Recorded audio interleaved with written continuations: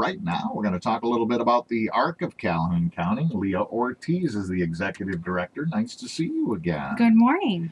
For those who don't know, why don't you tell us first what the ARC is all about? Sure. The ARC is all about service to the community, um, and we do that through providing um, advocacy and services uh, programs for individuals with intellectual and developmental disabilities.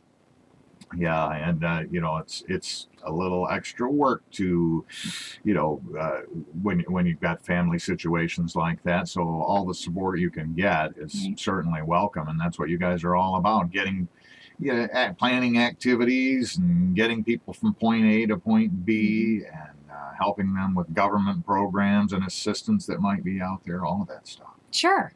And so uh, I'm very intrigued by this uh, th- this seminar that you've got coming up um, on February 7th and 9th. It's like a Thursday night and a Saturday morning, uh, and it's called "When We're Gone: Person-Centered Planning for the Future." Now, uh, where did this idea come from, and what's gonna what's it all about? Well, the idea really came from life, right? So um, we don't always like to talk about um, when we are going to be gone. um, the reality is is that we cannot live forever, unfortunately. And um, being a parent or a caregiver of a person with a disability, sometimes we're living day by day and we really aren't planning for the future ahead of what is this going to look like when i am no longer as a parent or caregiver around um, what is my adult or even young child with a disability going to do without me here? So, um, this is something actually we launched last year uh, through a variety of community partnerships to put on. We had a great um, attendance. We had over 66 individuals that came to hear the information. It's a free event. And so, we um, it was actually high demand to repeat again this year. So, we have some of the same information with updates um, as well as we're spending a little bit more time in the more requested um, sessions. And by the way, the cost of this Free free. with food. Tim. with, food. Oh my gosh. Um, yeah, and it's again, it's a Thursday, February 7th, 5 to 7, and then Saturday, two days later, uh, 9 a.m. to 12. Mhm. Um, tell us about what some of the presenters are going to talk about in those two sessions. Sure. So um, we're partnering with uh, Disability Network of Southwest Michigan, um, with CareWell Services, the Department of Treasury, um, and also um, Kent Biebrick, um, a local estate planning attorney.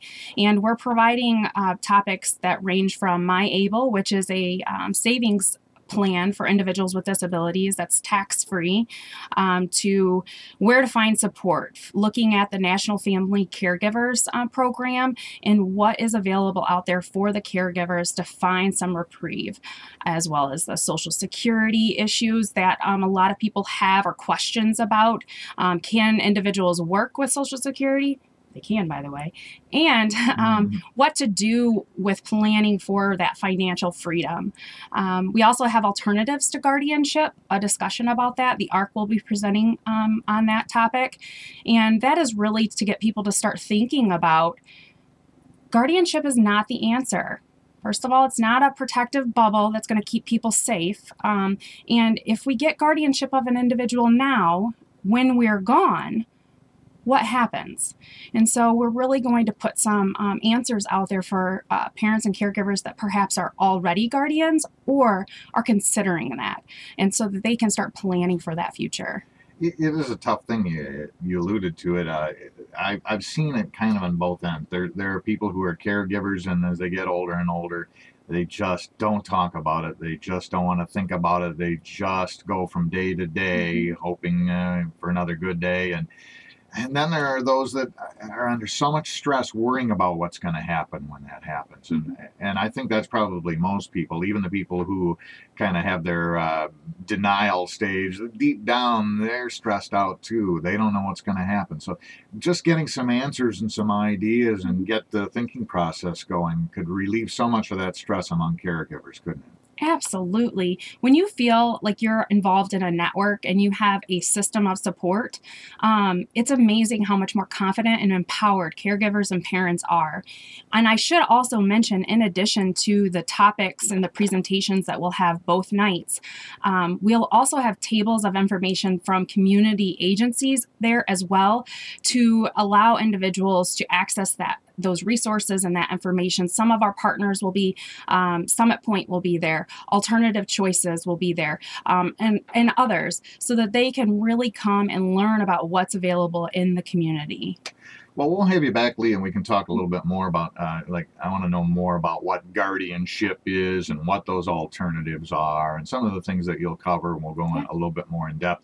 But again, this is going to be Thursday, February 7th, 5 in the evening for two hours or and and Saturday, February 9th from 9 in the morning until noon.